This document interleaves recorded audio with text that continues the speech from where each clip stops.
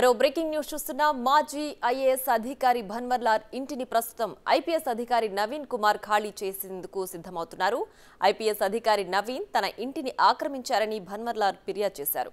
ఆక్రమించడమే కాకుండా నకిలీ పత్రాలు సృష్టించారని ఫిర్యాదులో పేర్కొన్నారు. భన్వర్లాల్ ఫిర్యాదుతో పోలీసులు రంగంలోకి దిగారు. ఇద్దరు సీనియర్ అధికారులు కావడంతో వారి మధ్య సయోధ్య కుదిర్చేందుకు ప్రయత్నాలు చేస్తున్నారు.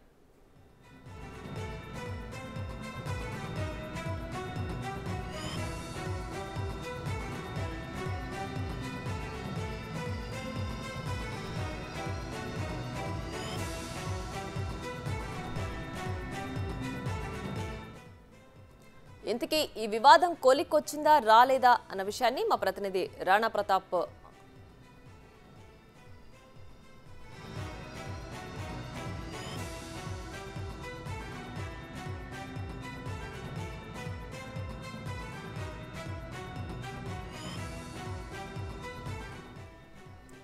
మాజీ ఐఏఎస్ అధికారి భన్వర్లాల్ ఇంటిని ప్రస్తుతం ఐపీఎస్ అధికారి నవీన్ కుమార్ ఖాళీ చేసేందుకు సిద్ధమవుతున్నారు.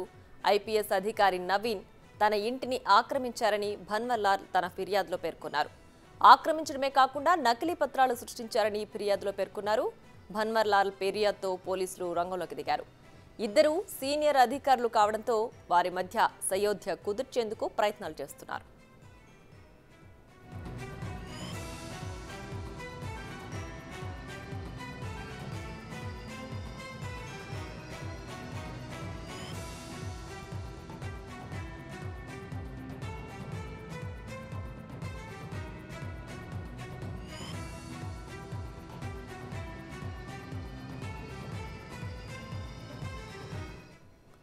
మాజీ ఐఏఎస్ అధికారి భన్వర్లాల్ ఇంటిని ప్రస్తుతం ఐపీఎస్ అధికారి నవీన్ కుమార్ ఖాళీ చేయించేందుకు సిద్ధమవుతున్నారు. ఐపీఎస్ అధికారి నవీన్ తన ఇంటిని ఆక్రమించారని భన్వర్లాల్ ఫిర్యాదు చేశారు.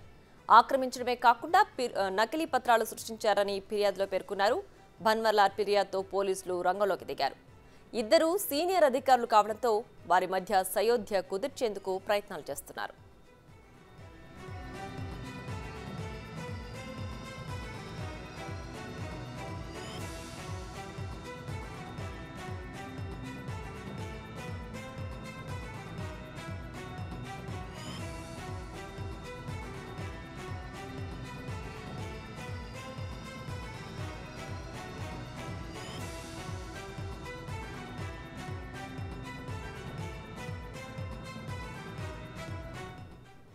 రైట్ ఇక ఇదే అంశానికి సంబంధించి మరింత సమాచారం మా ప్రతినిధి రాణా అందిస్తారు. రాణా చెప్పండి నవీన్ అలాగే భన్వర్లాల్ మధ్య ఆ, గొడవకు సంబంధించి పూర్తి డీటెయిల్స్ ఏంటి? వివాదం సద్దుమణిగిందా? ఏంటి అప్డేట్స్?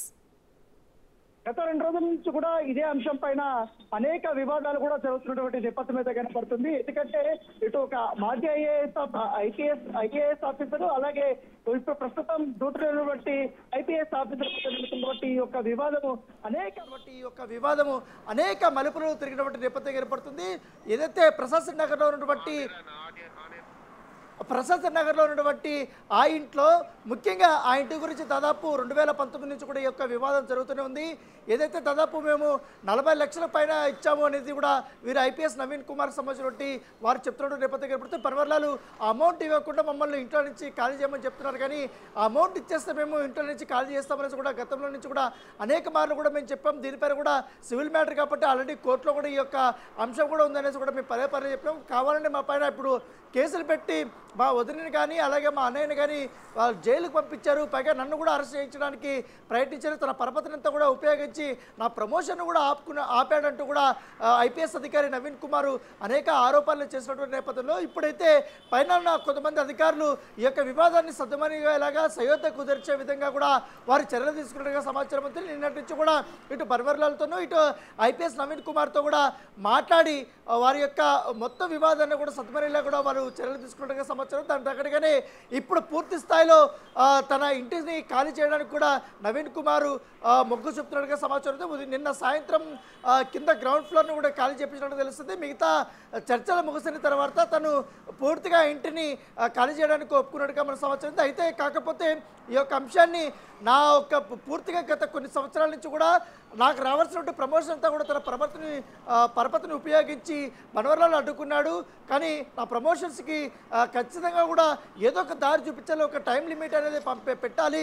అయ్యే ఐపీఎస్ ఆఫీసర్ నన్నే ఈ రకంగా కూడా వేధిస్తే ఎలా అనేసి కూడా ఆయన క్వశ్చన్ చేసినటువంటి నేపథ్యం కనపడితే ఈ అంశాన్ని కూడా నేను ఇటు డీజీపీతోనూ అలాగే ముఖ్యమంత్రితోనూ ఇట్లా పై అధికారులకు కూడా నేను అనేక సార్లు కూడా చెప్పాను. కానీ బనవర్లాల్ కావాలని తప్పుడు తప్పుడు ఆరోపణలు చేస్తూ ఈ రకమైనటువంటి చర్యలకు పాల్పట్టు పడుతున్నాడంటూ కూడా ఆయన కామెంట్ చేసినటువంటి నేపథ్యం కనపడుతుంది.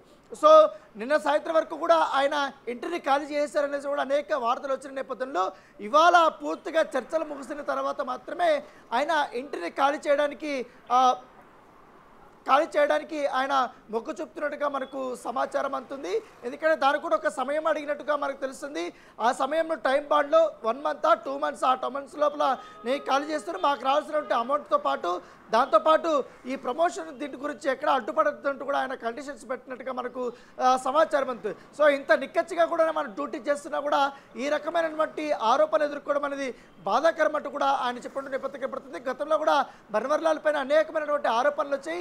ఆయన మీద ఎటువంటి చర్యలు తీసుకోలేదు కానీ నా ఇన్వెస్టిగేషన్ చేయకుండా నా కుటుంబం పైన నా పైన ఈ రకమైనటువంటి వేధింపులు సరికాదంటూ కూడా ఏదైతే నవీన్ కుమార్ ఆ, వాదిస్తున్న నేపథ్యం కాబట్టి ఏదైనా ఇవాళతో చర్చల ద్వారా కూడా ఖచ్చితంగా వీరిద్దరి మధ్య కూడా సయత్త కుదిరే అవకాశాలు ఎక్కువగా కనపడుతున్నాయి Priya. Right Rana thanks for the updates